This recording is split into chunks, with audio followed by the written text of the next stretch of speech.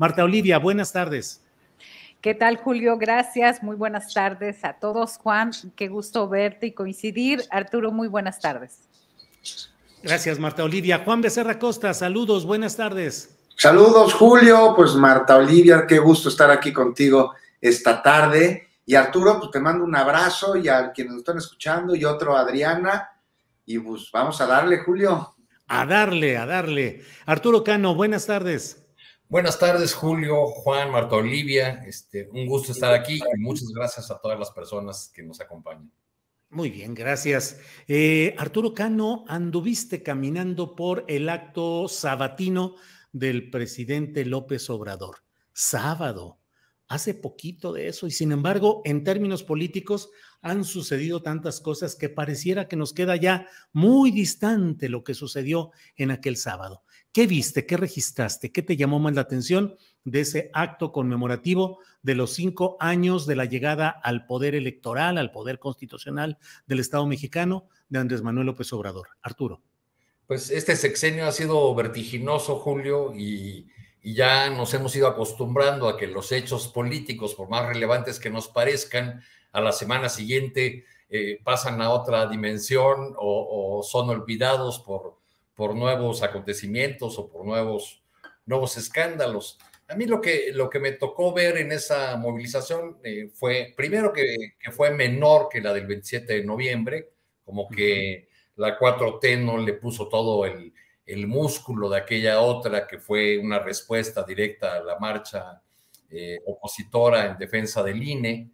Eh, y, no, no vi a, muchos contingentes eh, provenientes de organizaciones eh, sociales tan grandes como en otras, eh, como en otras movilizaciones de la, de la 4T, digamos, contingentes como el del Sindicato Nacional de Trabajadores de la Educación o de organizaciones similares, pues esta vez como que llevaron menos gente, había muchas personas que habían acudido por su propio pie y también eh, ciudadanos movilizados este, que, trabajan para distintas dependencias del, gobierno. Lo que a mí me llamó la, atención fue que eh, eh, el grito que escuché, y así lo registré en la crónica que, publiqué, el grito que escuché en varias porciones de la plaza y que consultando con varios amigos que anduvieron también por ahí, pues ellos también lo, escucharon en distintos momentos y, era el grito de reelección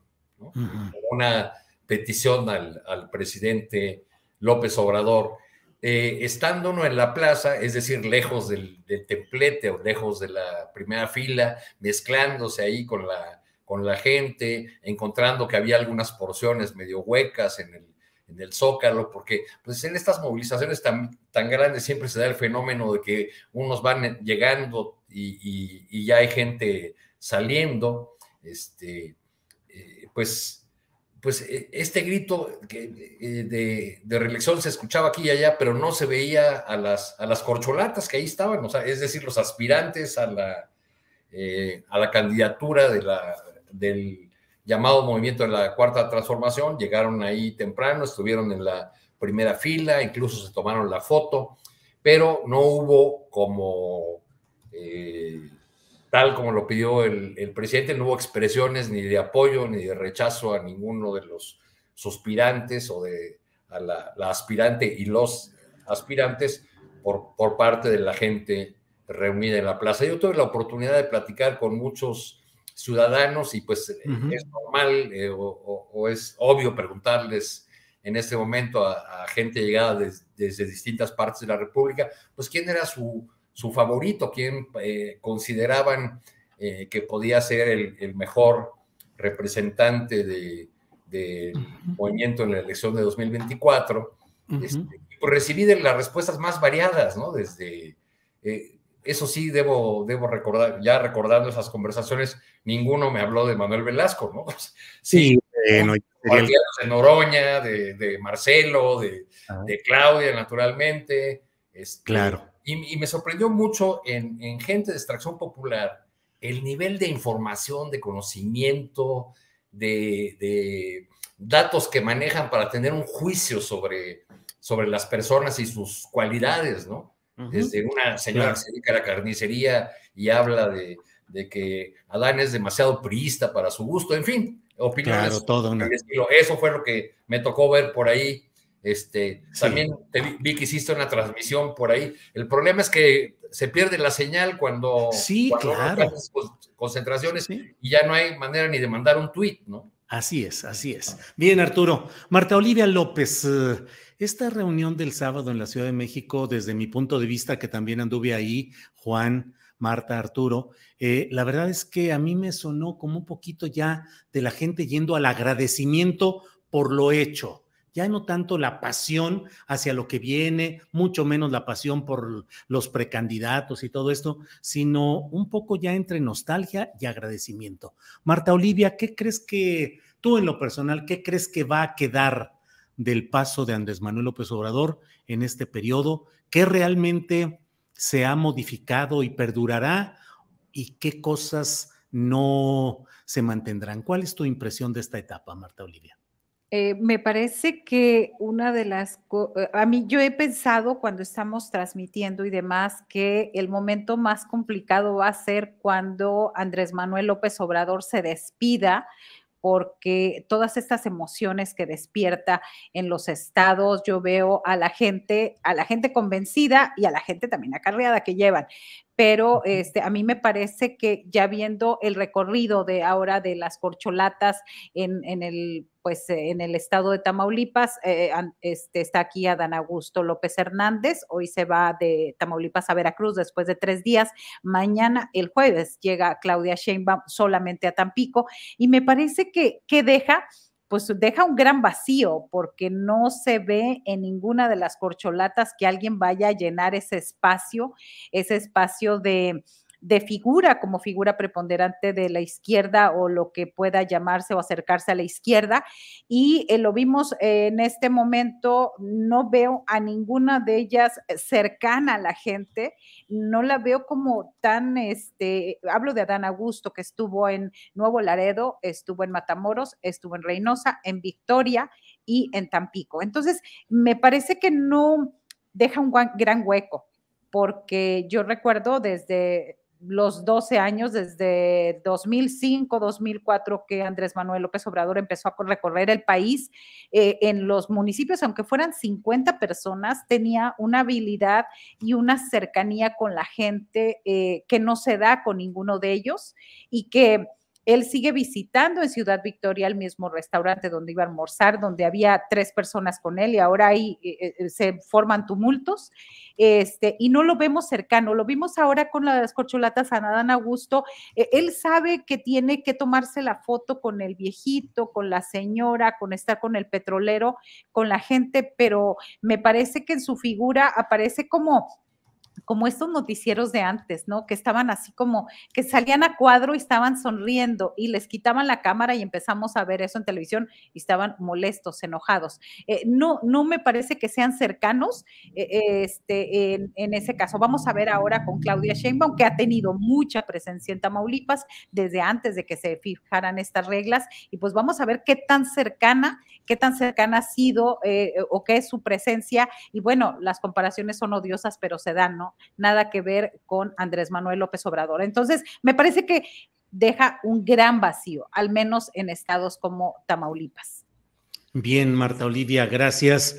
Eh, Juan Becerra Costa, y pues desde ahorita se está desatando ya, me parece a mí que subiendo el nivel de la agresión explícita hacia el propio presidente, hacia su trabajo político, como nunca y podemos ver expresiones escénicas como las de Catalino Krill, perdón, de Santiago Krill, que en una representación él y otros están subiendo mucho el nivel de la adjetivación eh, agresiva eh, y de insulto hacia el presidente de la República.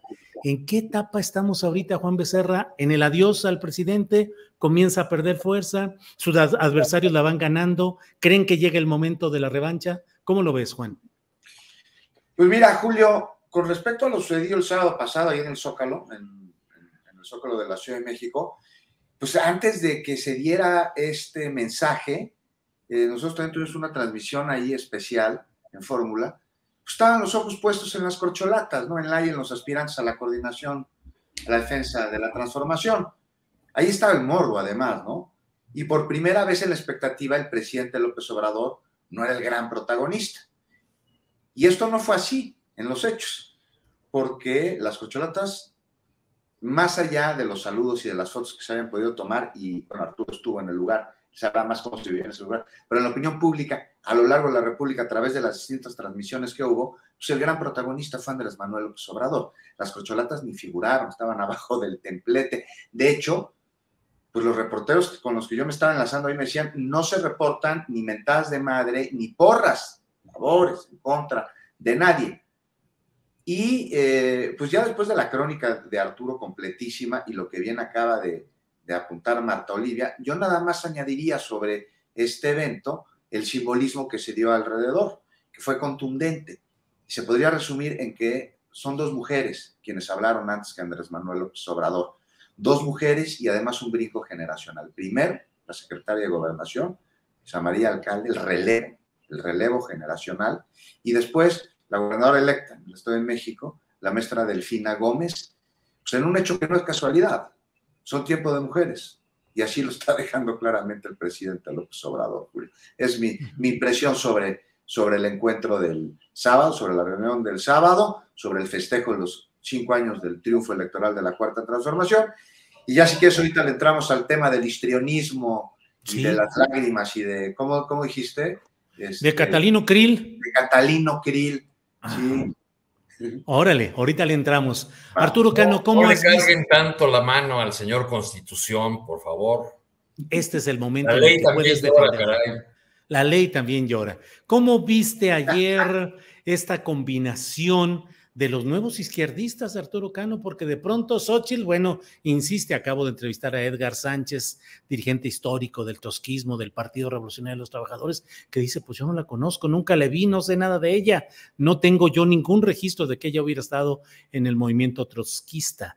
Y luego Santiago Krill, que además de esa manera histriónica de tratar de levantar el ímpetu de las masas, también se dijo que él es de izquierda, que es el más izquierdista dentro del PAN. ¿Cómo ves el nuevo izquierdismo, Arturo Cano? Fíjate, Julio, nada más un apunte sobre el, el mitin del sábado. Quizá para que no hubiera esas expresiones de apoyo a una u otra corcholata, no hubo pantallas, las calles aledañas. Es cierto. si hubiera habido pantallas, obviamente en algún momento iban a enfocar la imagen claro de los aspirantes, pero no hubo pantallas, eso se, se extrañó. También eso fue uno de los factores por, la, por los que más gente se empezó a ir temprano, porque no alcanzaban a, escuchar y menos a mirar lo que ocurría en el templete del Zócalo. Es muy curioso esto de la izquierda, me ha hecho pensar en estos días eh, de la súbita eh, izquierdista de, de, los candidatos de la derecha. Eh, eh, me ha hecho pensar en estos días en algo que escuché en Brasil en 2010, eh, que, venía de los, de los propios eh, partidarios o de gente que había estado en el gobierno de Lula, que decía que el gran logro de Lula había sido establecer un nuevo paradigma, un nuevo piso del cual no se iban a poder mover quienes lo sucedieran en la, presidencia. Es decir, Lula creó programas sociales que modificaron el, el panorama eh, demográfico, el, nivel de ingresos de la gente. Ese año 2010, por primera vez, 8.5 eh, eh, millones de brasileños viajaron en avión por primera vez en sus vidas, nada más para dar un dato de, esa transformación que, que, ocurrió, de ese crecimiento en el nivel de ingreso de los pobres. Los ricos también ganaron muchísimo. pero bueno, ellos sostenían que, ese nuevo, que, Lula había creado un nuevo paradigma social que iba a ser muy difícil o, más bien imposible eh, que alguien que llegara lo rompiera. Bueno, eh, los, los súbitos izquierdistas, candidatos de la derecha, eh, declaran, se declaran de ahora de izquierda, más, más en el sentido de decir que tienen un compromiso y una sensibilidad social y que defenderían y darían continuidad a los programas sociales del presidente López Obrador.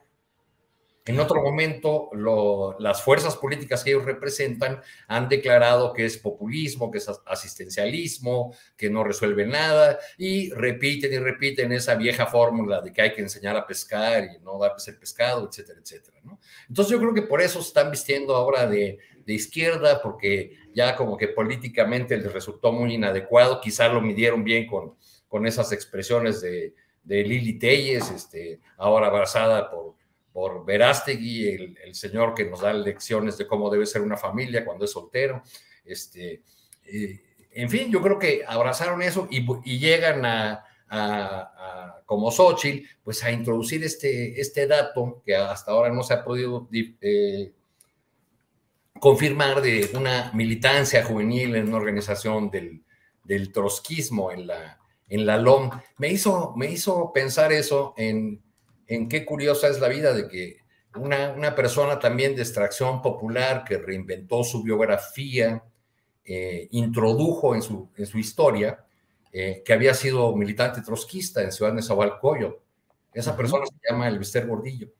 Y tiene con, con Xochitl Galvez la cercanía con un personaje que estoy seguro está, bueno, y me lo han comentado personas de, ese, eh, de su entorno, pues un personaje que está en la eh, digamos, en esta obra que ha sido la creación de la candidatura de Xochitl Gálvez, y me refiero al canciller Jorge Castañeda, que, este, que, celebraba mucho a la maestra Gordillo, que presumía, su militancia de, trotskista, ¿no? En efecto, en, la, en Ciudad de Zahualcoyo había un grupo de profesores trotskistas, al, al parecer el Bester Gordillo fue aliada de ellos, este, en algún momento para competir por un comité delegacional y luego los traicionó y rápidamente se fue al, sector oficial que entonces dominaba la vanguardia revolucionaria de Pero es muy curioso cómo están tratando de insertarse en, eh, o de dar esta imagen, porque la, la matriz o lo que mueve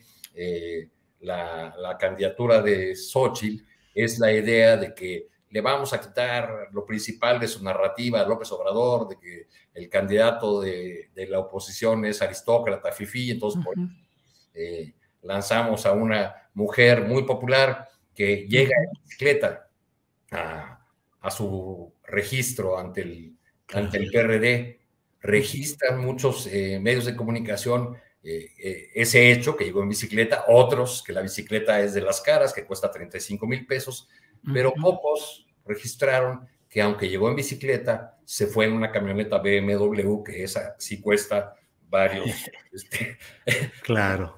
centenas de miles de pesos, ¿no?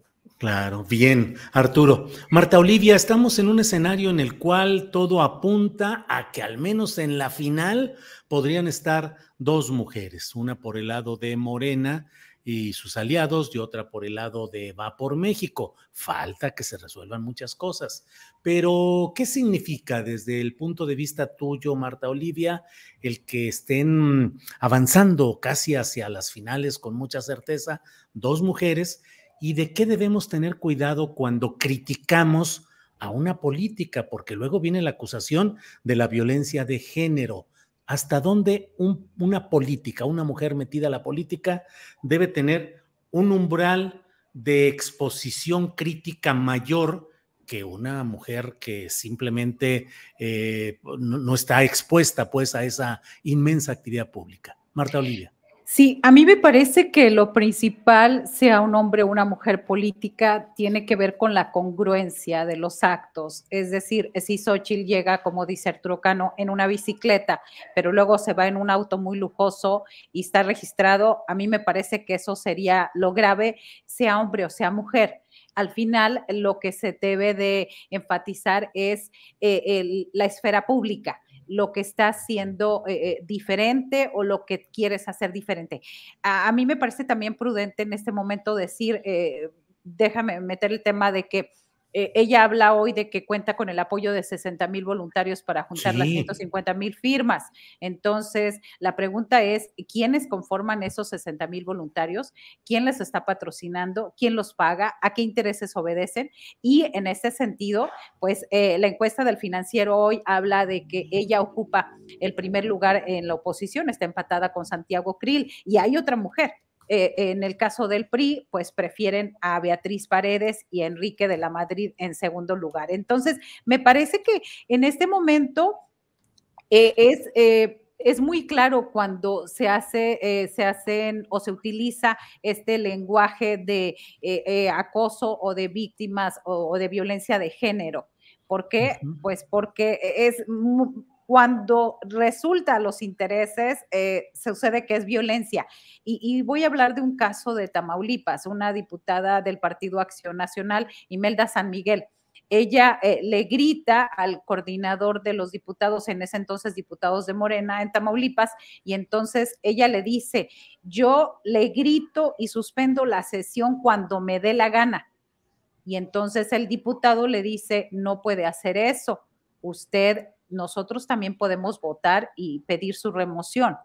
¿Y quién fue a acusarlo de violencia de género? La diputada que gritó y que suspendió la sesión tres veces en un día. Entonces, me parece que la gran ventaja de las redes sociales es que estamos viendo la congruencia e incongruencia en este sentido, eh, de, que, de lo que están diciendo y lo que hacen. Es decir, hay registros y nosotros como periodistas tenemos que estar como muy pendientes de esta, de esta congruencia. Y rápido, porque ya vas con el tema este, cuando eh, Krill dice que soy de izquierda con agenda progresista, solo hay que recordarle que en abril del 2007, cuando era coordinador de la bancada del PAN en el Senado, él impugnó ante la Suprema Corte de Justicia la legalización del aborto en el Distrito Federal, entonces Distrito Federal, y él ha dicho que ellos van por sí a la vida y no a la muerte del ser humano. Entonces, habría que preguntarse qué tipo de posturas son de izquierda y, qué, y de qué izquierda son.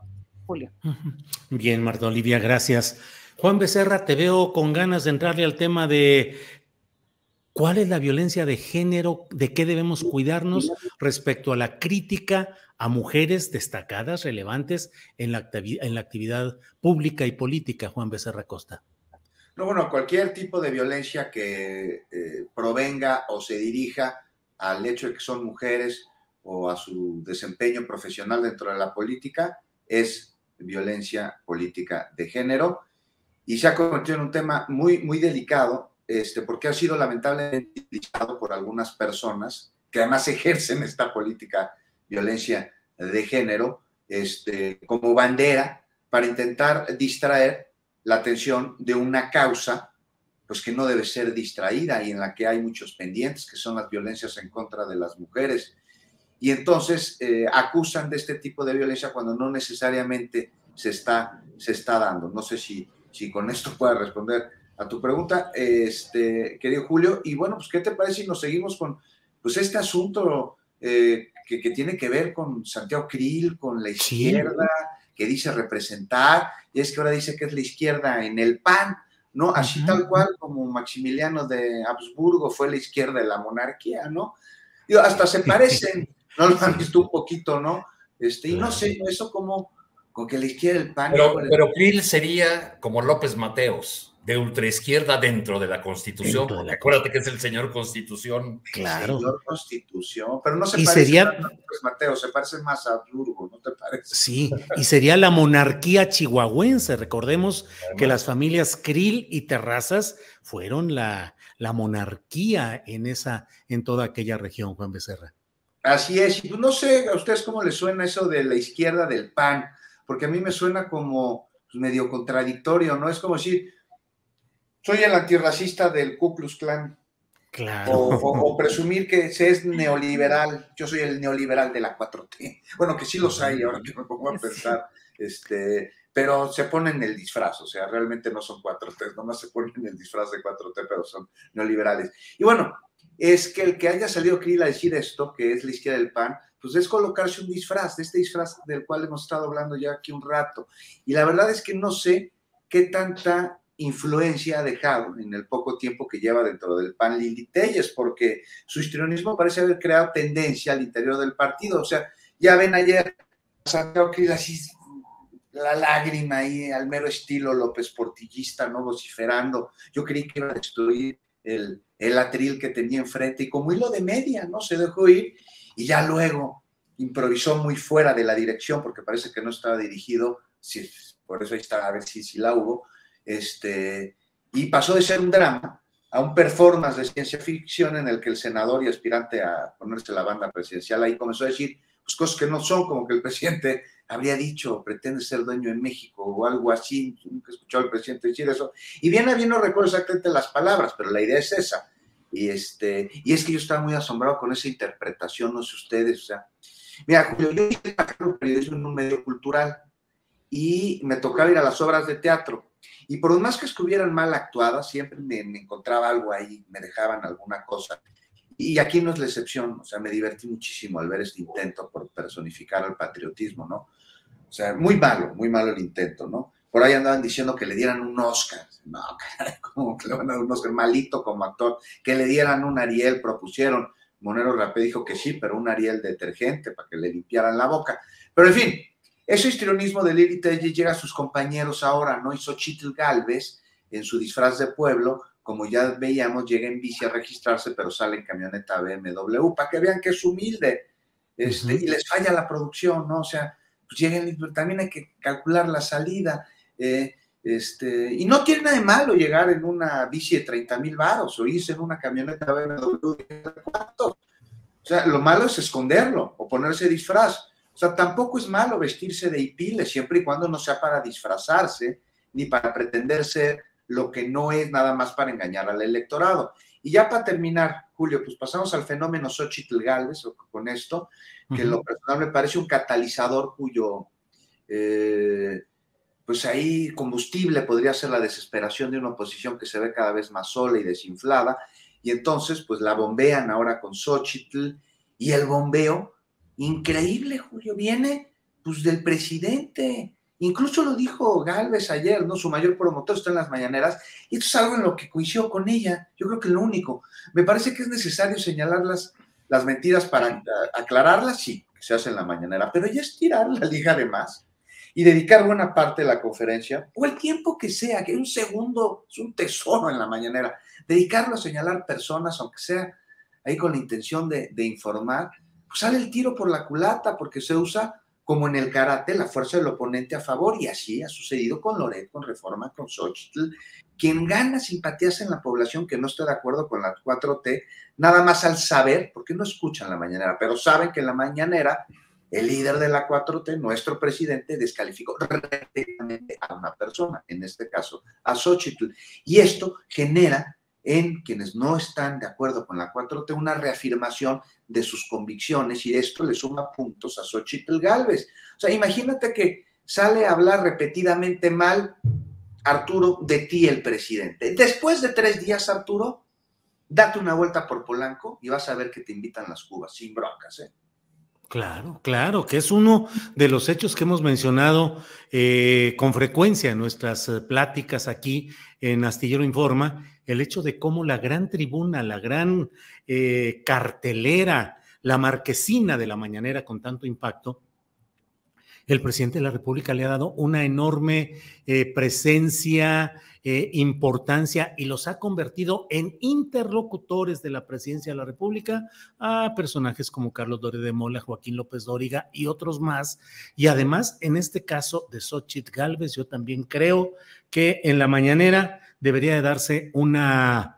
Em, eh, un mayor cuidado de lo que el presidente de la República dice en un lugar y en una instancia donde está para presidir y gobernar para todos. Tiene derecho, desde luego, a la respuesta y a la réplica, pero hay ocasiones en que la iniciativa de la crítica y de la acometida política y electoral la hace el propio presidente de la República y le está dando efectivamente resultados a su propia adversaria, en este caso que es Xochitl Gálvez. Marta Olivia, no sé si quieras entrarle a este tema o preguntarnos también el otro de los priistas, Osorio Chong y compañía, ¿a dónde irán las golondrinas? Bueno, ¿a dónde irán estos priistas luego de dejar el PRI? Marta Olivia.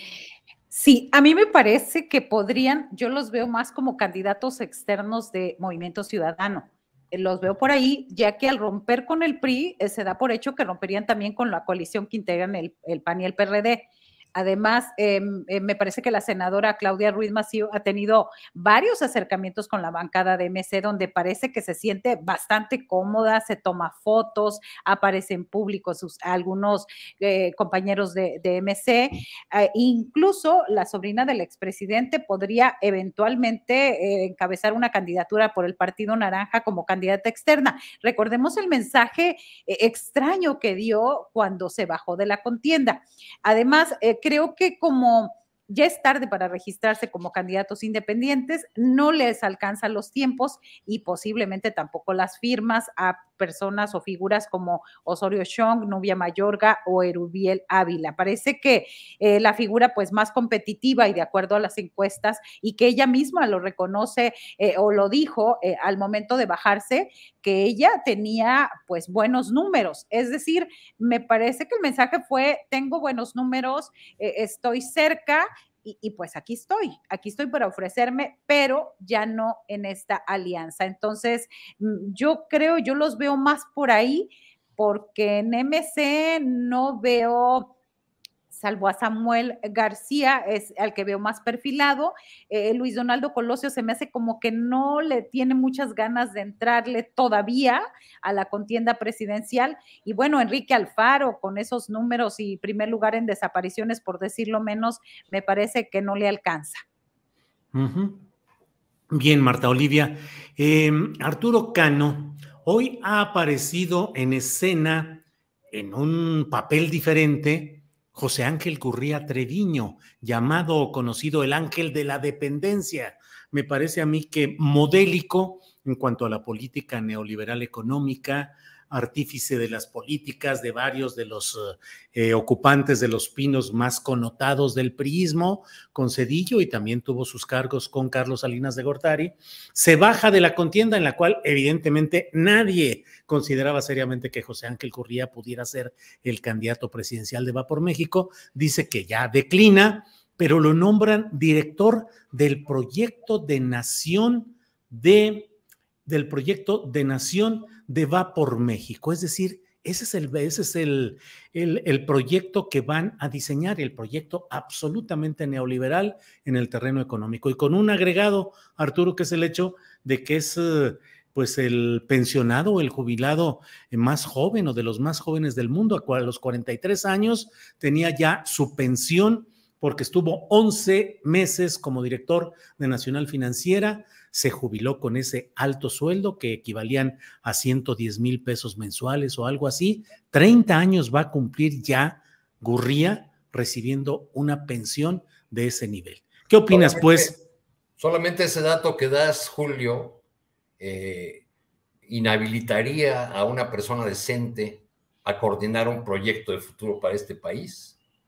Alguien que ha cobrado durante casi 30 años una jubilación que obtuvo de manera irregular como un favor político y que luego, apoyado por Vicente Fox, fue a, dirigir este, la OCDE y, regresa con sus fueros y lo nombran tres partidos, incluyendo el PRD, este, eh, para elaborar el proyecto de, nación. Pues eso es lo que nos dice eh, la presencia de, de Gurría es la que nos dice, pues, quién es el dueño de ese circo, de ese, de ese changarro opositor al que, al que hoy se sumaron, subieron Jorge Luis Preciado, uno que fue senador y al que se recuerda por pachangas que organizaba ahí en, en la sede del Senado, y un activista eh, en pro de los niños por cáncer llamado Israel Rivas.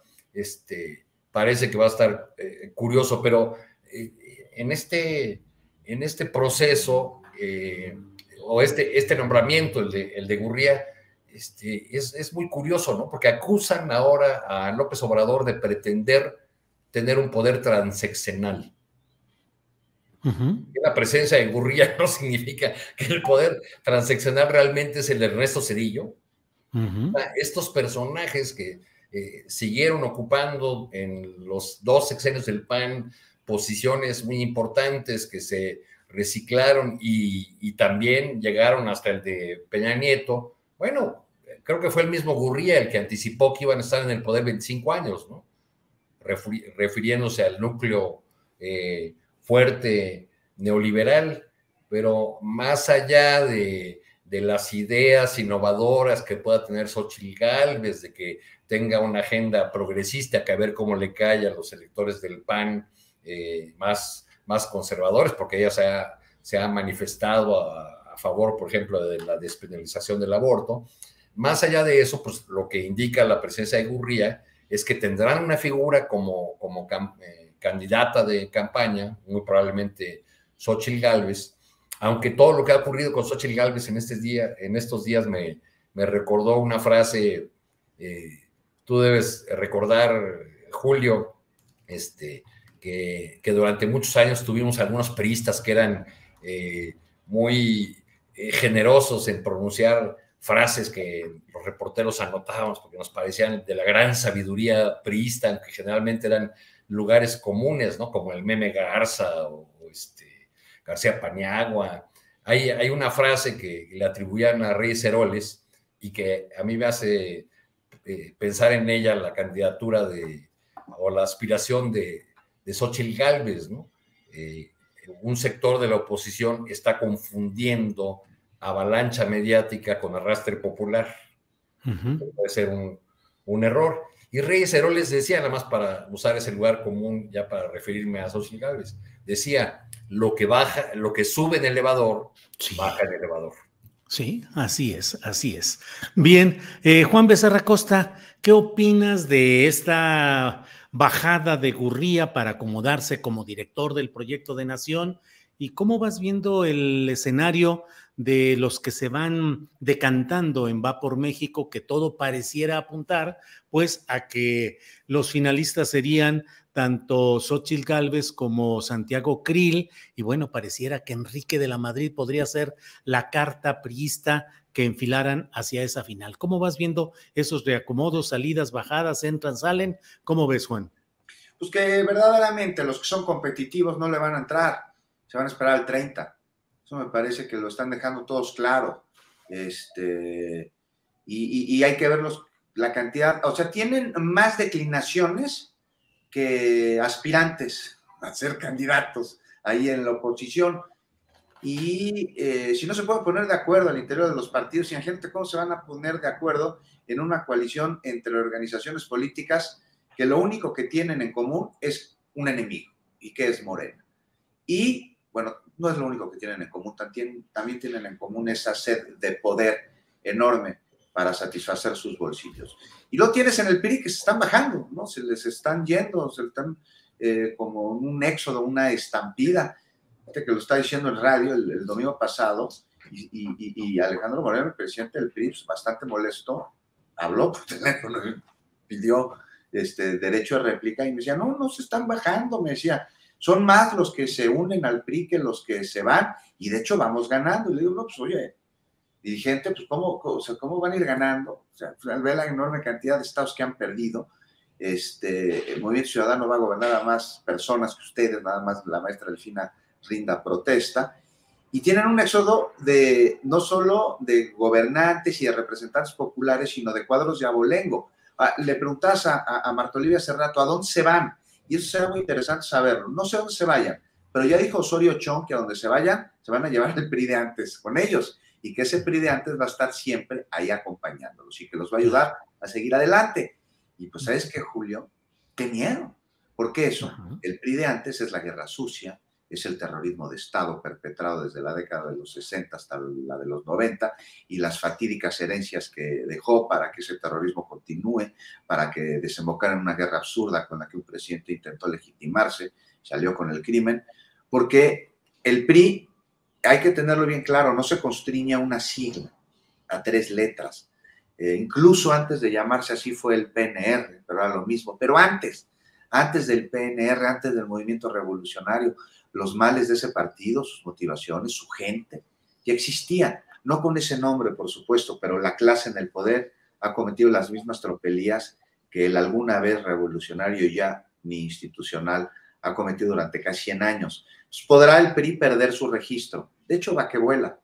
Pero después de ello, pues ya, con ese, ya sin ese nombre, ya sin ese logo va a seguir existiendo y va a seguir haciéndolo en esencia. Y es ahí a donde se va Osorio, y Claudia Ruiz Macio Salinas y quienes saldrán huyendo de un barco que ya encallado comienza a sumergirse porque vienen más, más éxodos. Hay que tener ya para acabar, Julio, bien identificados a los pristas de ayer, a los de hoy y a los de mañana, porque ellos utilizan camuflaje y se disfrazan de causas en las que no militan para utilizarlas como trampolín que les lleve a lo que siempre han deseado, el poder por el poder, ese que les permite saciar su hambre de ambiciones materiales y, y con el que han empobrecido a los más, enriqueciendo a los menos.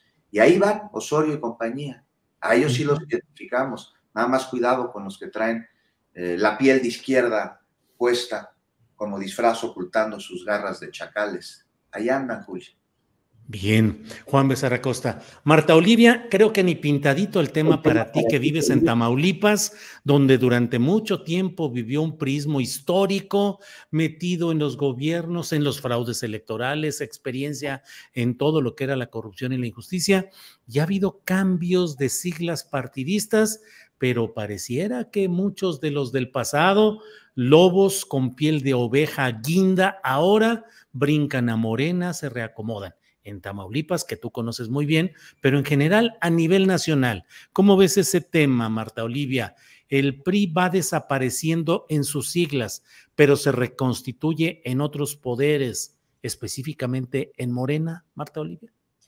A mí me parece que sí hay mucho de priistas en Morena y el argumento cuando nosotros lo mencionamos es, es, es que es un partido joven es que acaba de nacer, es que tiene, pues, su historia es poca, ¿no? Pero eh, creo que eso ha afectado más que ayudado. Y, bueno, vamos a ver de las figuras también que están ahora como gobernadores en el país de Morena. Muchos tienen una trayectoria totalmente priista. Eh, a mí me, vamos a dejar de lado los partidos. Me preocupa más la actuación, cuáles de esos métodos priistas cuáles de estos eh, signos característicos están utilizando en la actualidad, porque eh, en el caso, por ejemplo, de Tamaulipas, es muy claro, muy claro que eh, la gente de Morena, los fundadores de Morena se quedaron de lado. Este, y, y los que están incrustados son los priistas con los que crecieron la mayoría de los secretarios y funcionarios estatales, empezando con el gobernador Américo Villarreal Anaya. Él, eh, toda su trayectoria fue en el PRI. ¿Quién está gobernando ahorita? La mayoría de funcionarios. No hay uno, creo que de todos los secretarios, eh, eh, si no me falla la memoria, la única, digamos, con una este, nombre o con una trayectoria, si no en Morena, sí de apoyo al presidente Andrés Manuel López Obrador, es la secretaria de Desarrollo Económico, Ninfa Cantú de Andar, este, de Nuevo Laredo, por cierto. Entonces, no veo, los demás son eh, o expriistas o neomorenistas, incluso en Tamaulipas, mucha gente decía, este, no, yo no, no, López Obrador, en la campaña, en la pasada campaña de la gobernatura hace un año, decía, no, este, yo no, no, no soy de Morena, no soy de López Obrador, yo estoy con el doctor Américo Villarreal. Entonces, eh, se nos hacía grave y, y, ahora que vino Adán Augusto, y lo menciono rápidamente, eh, vino Adán Augusto López Hernández, estuvo en el presidium del evento más, eh, más nutrido en Reynosa, ¿Y quién estaba con él ahí? Pues el senador José Ramón Gómez Leal, un expanista, cuñado de Francisco García Cabeza de Vaca, y era el que estaba en el presidium. A su lado estaba también una expanista que ahora es diputada federal por eh, Morena. Y él menciona a los fundadores de Morena y no había nadie, ah, eh, perdón, mencionó a cuatro, uno ya falleció, uno estaba abajo este, entre la gente, lo mencionó, al día siguiente ya lo subió porque pues hablaba de los fundadores. Y lo que vemos también en la función pública, no vemos a gente que organizó, que coordinó, que ahora sí, como dicen ellos, que sudó la camiseta por Morena, y, y sí vemos a muchos priistas, a muchos priistas ahí, incluso se ha dicho que en el gobierno actual de Tamaulipas, pues el sello es el prismo. Y en mandos medios, eh, muchos eh, panistas que todavía ahí dejó basificados y demás Francisco García Cabeza de Vaca. Y bueno, este, yo nada más les digo, este, les voy a dar en postrecito, pues esto, eh, ¿qué tamaulipecos están, están destacando? Gurría es de Tampico, no sé si afortunadamente, desafortunadamente, pero hay dos más y hay un posible diputado federal migrante. Ándale, muy bien, Marta Olivia. Em, Arturo Cano, mm, pues estas preguntas luego hacen que se enoje a veces nuestra audiencia y nos generan aquí muchas críticas y polémicas, pero Arturo, yo estoy viendo eh, el proceso de construcción del poder presidencial de Morena en 2024, de Morena y sus aliados. Lo estoy viendo demasiado cargado de espectaculares, de dinero, de derroche, de despilfarro, de inversión política, de movilizaciones, que nos digan lo que nos digan, la experiencia política que tenemos nos muestra que esas movilizaciones no se hacen nada más porque sí, sino que necesitan inyecciones de recursos para todo ello. Eh, lo que yo me pregunto y temo es decir, la construcción del futuro político de Morena y sus aliados se está fincando en las alianzas desde hoy con grupos de poder económico y político que no son de la regeneración nacional, que van a influir en el futuro, que van a recibir cargos, diputaciones, candidaturas, cargos de gobierno, negocios para resarcirse de ese dinero. Y no hablamos ya del lado de Va por México, que ahí me parece muy evidente, pero Estamos viendo, Arturo, que se construye un poder político del futuro a partir de ingredientes que no son los deseables, Arturo. Pues sin duda, Julio, porque eh, esta batalla anticipadísima en la que el presidente de la República eh, metió a, las personas interesadas en, sucederlo, pues eh, fue obligando a las llamadas o mal llamadas corcholatas a eh, ganar una encuesta y, ganar una encuesta implica ser conocido y ser conocido requiere eh, recursos, eh, requiere una, una inversión. El, el, gran problema es si, si hay apoyo, si hay respaldo de empresarios porque simpaticen con alguna causa, con algún candidato, yo creo que sería de alguna manera legítima. Otra discusión es lo que la ley electoral ordena y que todos los, todas las fuerzas políticas están este, ignorando. Eh, eh, la, la cosa es, ¿realmente hay un sincero respaldo derivado de una simpatía política que puede ser legítima? O hay una promesa de, intercambios hacia el futuro, este, de, pagos en cuanto se llegue al poder. No, Morena no es una fuerza que haya estado exenta de, eso. Hay historias eh, conocidas de, candidatos a gobernador o candidatas y presidentes municipales que llegaron eh, con esos respaldos de gente de recursos y que luego tuvieron que entregar a veces no solamente contratos, sino a veces incluso posiciones eh, en los gobiernos. Claro, posiciones en, las, en aquellas áreas donde, donde se manejan este, los, los recursos. ¿no? Es, es un tema irresuelto de nuestra vida político-electoral. Eh, y, la gran reforma electoral que, como le hemos comentado aquí, eh, en varias ocasiones. La gran reforma electoral que nos debemos como país, más allá de este debate y de, esta, eh, eh, de este choque entre dos bloques, pues es una reforma que, que realmente le quite a, los procesos electorales eh, ese tufo de dependencia del, del, dinero irregular o muchas veces ilegítimo. Veo que, que esa es una una obra que no va a quedar concluida este sexenio y, algo que quizá requiera de un nuevo acuerdo eh, político, eh, de un nuevo pacto político en el, en el futuro. Bien, Arturo. Eh, son las dos de la tarde con 49 minutos, ya vamos entrando a la parte final. Marta Olivia, em, ¿cómo ves a los seis aspirantes de la 4T, digamos, para que no nos acusen de estar excluyendo a algunos? A mí me parece que Manuel Velasco pues no tiene mayor posibilidad, tampoco, le veo a, Monreal, que parece más decidido a buscar la jefatura de gobierno de la Ciudad de México, pero en general, ¿cómo ves a los eh, buscadores, los aspirantes de la llamada 4T?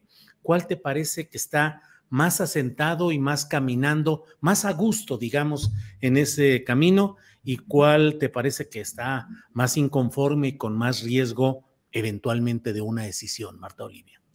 Sí, yo siento que Marcelo Ebrard se, busca presentar como el candidato más entusiasta y el diferente, el que trae propuestas frescas y representa un cambio para seguir las políticas de la cuarta T. en el recorrido de Sheinbaum, eh, me parece que no ha sido miel sobre hojuelas, pero hasta ahora las encuestas no arrojan una baja en su apoyo entre los simpatizantes de Morena, es decir, me parece que se, se conserva.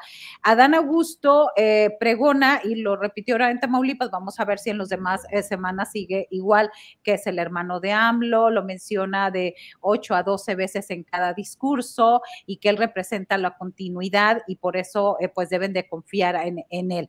Eh, eh, como bien dices, Ricardo Monreal hace recorridos, pero no parece para nada, para nada urgido por subir en las encuestas, ahí como que nadando de muertito nada más o como parecería ya como una especie de negociación que ya está muy acordada.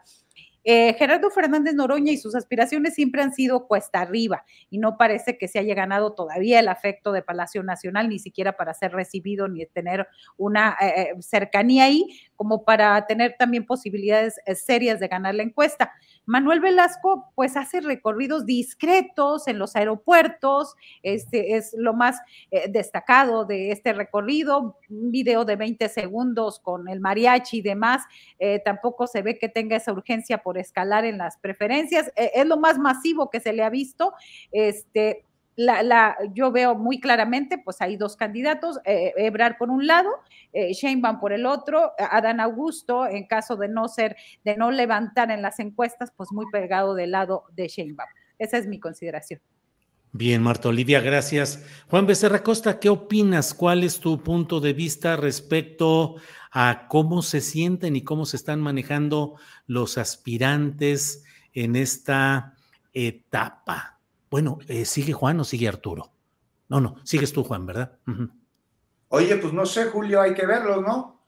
Nada más para responder esa pregunta que me haces, hay que ver las encuestas, eh, las que son la población abierta, nada más, por favor, aquí sí hacer la aclaración porque no sé si han visto, hazme el favor, luego hay este, influencers, este, de esos que se, que se disfrazan de periodistas, ya está de moda disfrazarse, que lanzan sus encuestas en Twitter. Que bueno, pues puedes ahí hacer una encuesta en Twitter, pero que hay que tomarla como lo que es, ¿no? Evidentemente. Sondeos. Exacto, y están dirigidos a los seguidores de la cuenta, ¿no? Claro.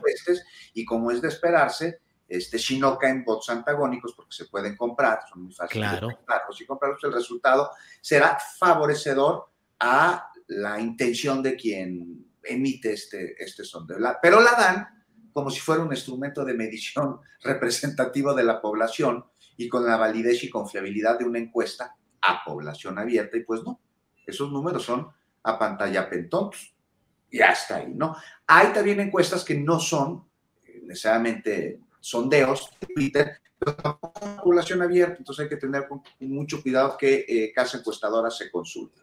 Ahora, en las que sí son a población abierta, pues ahí están claramente las preferencias. ¿Quién se ve más a gusto dentro de las corcholatas? Pues no es a gusto.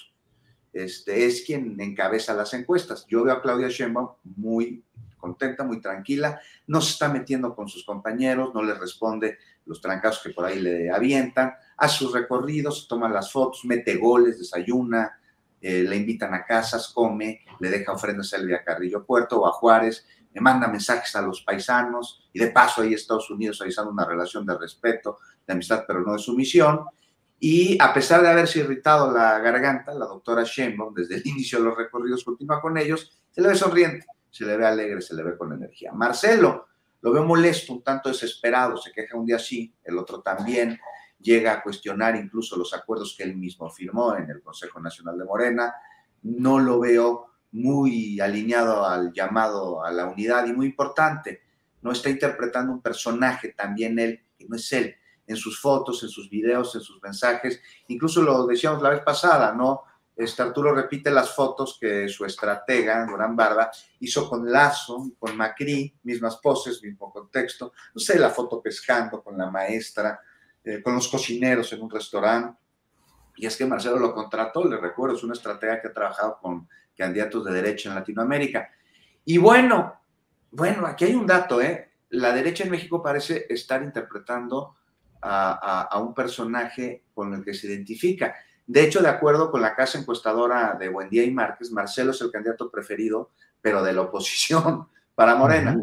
Pero él no se ve Adán, les decía, este asunto que lo tiene ahí como parece que desencajado, ¿no? Lo reportado en su papel de ese destraza eh, con el que dio sus gastos, ¿no? Parecía el señor diciéndole al mesero, oye, yo no pedí cómo y qué onda con esta proteína, ¿no? Yo traje transporte. Bueno, ahí, ahí eh, supuestamente lo que se habría gastado y el despliegue de recursos eh, que él reporta en este papel de estraza, pues no corresponde con lo que deja ver a su paso, ni con los espectaculares en carretera, en vialidades, ¿no? No cuadra, no acaba de cuadrar. Y luego sobre eso las preguntas que le formulan, pues parece que están llegando a un punto de inflexión en su paciencia.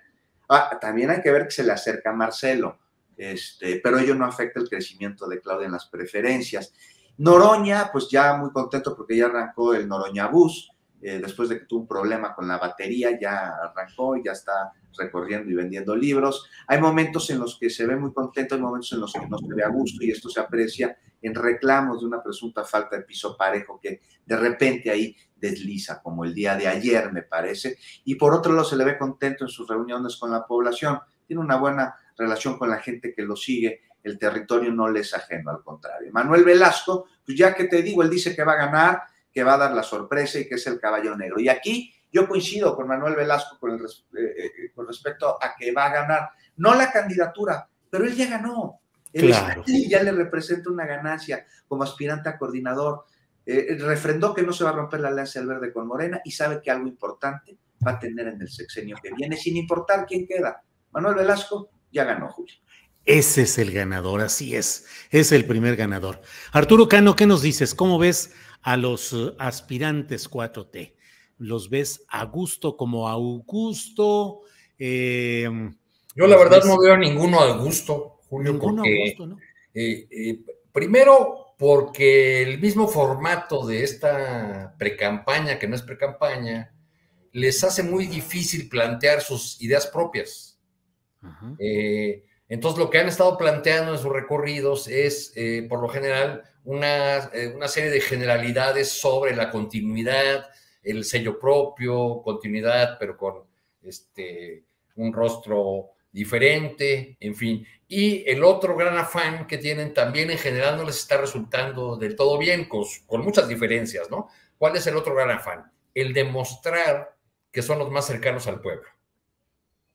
Entonces, por eso, eh, varios de los aspirantes hacen eh, cosas que hace la gente común, que hace la gente normal, porque pues te tienen que ver así, de esa manera.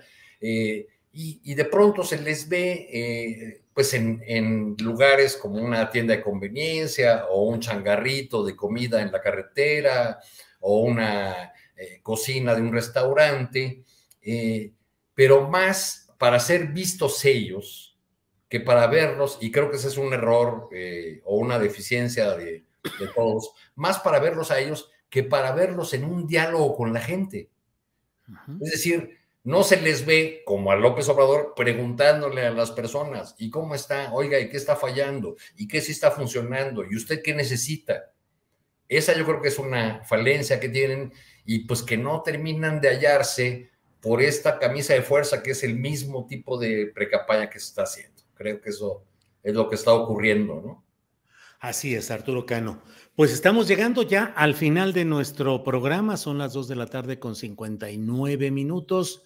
Marta Olivia López, muchas gracias por estar con nosotros en esta ocasión, a reserva de lo que desees agregar, Marta Olivia. Eh, solamente rápido, primero agradecerte, Julio, la invitación y bueno, esta interesante charla, Juan y Arturo. Este, nosotros ayer empezamos a hacer una observación en nuestro sitio en un 2x3 Tamaulipas, donde qué estaba haciendo Francisco García Cabeza de Vaca y, con quién se está reuniendo y hacia dónde va. Y encontramos que este, se está reuniendo con grupos migrantes que ya se asume como un migrante, yo diría es un prófugo de la justicia, pero él se ve como migrante, se está reuniendo con otros migrantes como Ricardo Anaya en Houston y como también otros eh, panistas.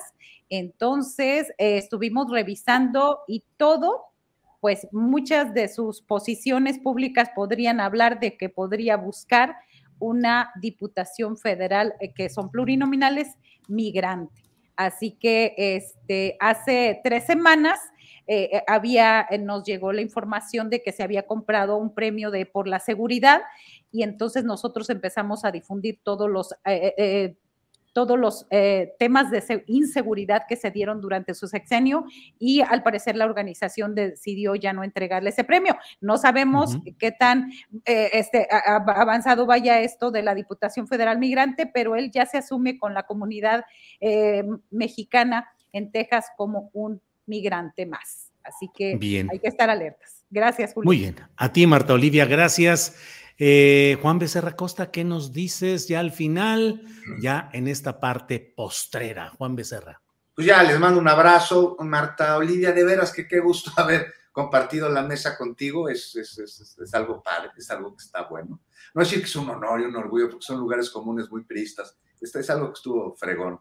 Arturo Cano, pues como siempre, ¿no? el maestro, de toda mi vida he leído sus crónicas y me encantan. Y bueno, Julio, gracias. Abrazo a Adriana y abrazo a todos los que nos acompañan. Y un anuncio, ¿no? Ahí a las 10 de la noche, porque ahí veo que están escribiendo de las encuestas y todo. Va a estar Roy Campos en el noticiario en el que yo trabajo, este, con el tracking que hace todos los días. Más allá de los números que reflejen, los invito a verlo para que nos explique cuál es la metodología y qué tan confiable y válido es este instrumento de medición, porque eso luego pues, pocas personas lo preguntan y sí estará chido saberlo. No sé tú qué opinas, Julio. Sí, pues claro que es chido saberlo, nomás eso faltaba. Gracias, Juan Becerra. Arturo Cano, eh, parte final, postrecito, comentario final. Dos comentarios a propósito del lamentable fallecimiento de Adolfo Gili. Sí. Eh, uno, eh, recomendar la lectura de una de sus últimas obras, Felipe Ángeles, el estratega. Un, un libro que se lee realmente como una novela y que tiene más actualidad de la que uno imaginaría por la descripción que hace de un personaje que tuvo un final, un final trágico. Y luego recordar el papel de Gilly como político, porque además de académico sólido, de historiador eh, muy culto, fue un hombre de acción en la, en la política. Eh, Gilly fue fundamental para que en el año del 87 se armara un, movimiento llamado el Movimiento al Socialismo, que se sumó a la candidatura de Cuauhtémoc Cárdenas y donde figuraron eh, una buena cantidad de dirigentes universitarios de la izquierda. Fue él quien llevó a, a Rosalvina Garavito al entorno de Cuauhtémoc Cárdenas y un personaje, ella, que, después desempeñó un papel muy importante, impulsada por Cuauhtémoc como coordinadora parlamentaria, como dirigente del, del PRD. Entonces, digamos, se, se, recuerda a un personaje que por un lado dejó un legado de pensamiento y de trabajos académicos desde su clásico La Revolución Interrumpida, hasta alguien que hizo política eh, en primera fila, lo descalabraron cuando lo de Ayotzinapa, ahí acompañando a Cuauhtémoc en las cercanías del, del Zócalo, eh, que hizo política y nunca, nunca tuvo un cargo público. Creo que de esos personajes ya no, ya no hay muchos. Así es, Arturo. Pues muchas gracias, Marta Olivia, Juan, Arturo, nos vemos próximamente. Gracias por hoy. Gracias a todos, abrazos. Gracias, Julio. Por cierto, hace rato que no te veía, qué gusto verte. Messi. Sí, bueno. así es, así es. Pero ya estamos aquí puestos. Nos vemos pronto. Gracias, hasta luego.